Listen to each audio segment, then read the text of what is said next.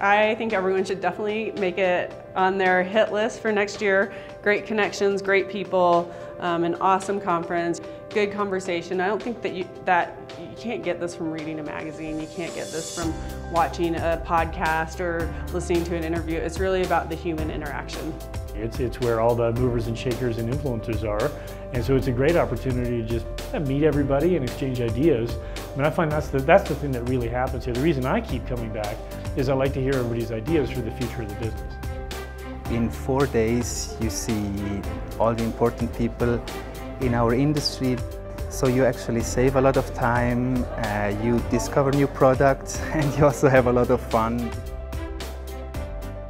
Well, uh, connections were made here with uh, groups that we uh, could not have made uh, another way. Um, really personal, face-to-face -face, um, interactions uh, that we, we were able to build on throughout the year. So uh, that's not possible to do in another setting or another format.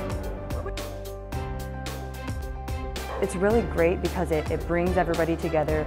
It gives um, you know everybody a chance to share in their strategies and what they're doing, and you know, we can take that back into our team and you know help build products to you know fit this. MTS is so important to our business because the interaction, the networking is great.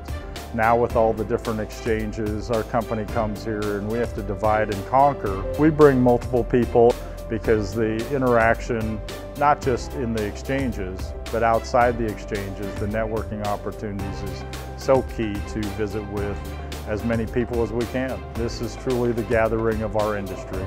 There's so much going on and there's you don't want to miss anything. Uh, just being able to get out to the receptions, getting out to the events, and having four people to go out on the floor and network is so much better than that one person. I think the big thing is you look at the ROI of it, being able to come here, uh, book groups, make new connections, and actually uh, bring things back that our GM can actually see and see that it's making a, a worthwhile investment is why we keep coming back.